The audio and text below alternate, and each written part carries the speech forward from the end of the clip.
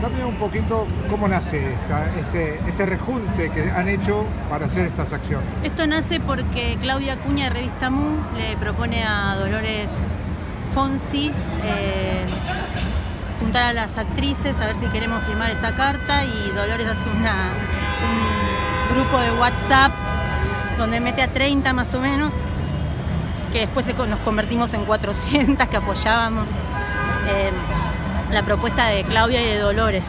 Eh, bueno, así surge en realidad. ¿Y qué están manteniendo? ¿Reuniones? Nos reunimos, sí, estamos reuniéndonos bastante, dos veces por semana, eh, para hablar lo que, bueno, para hablar las cosas para apoyar la campaña nacional a favor de la legalización del aborto y también va a devenir en otras cosas probablemente. Y surgen otros temas. Sí, surgen otros temas todo el tiempo. Tiene que ver con la realidad. Sí, con la realidad del, país y también en particular de, las actrices, ¿no?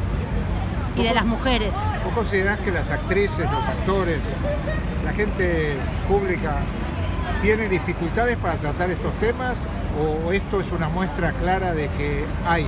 No, yo creo que esta es la muestra clara de que sí, que tenemos compromiso y que es, creo que entre nosotras nos demostramos que juntas podemos protegernos, podemos alentarnos para poder decir lo que pensamos.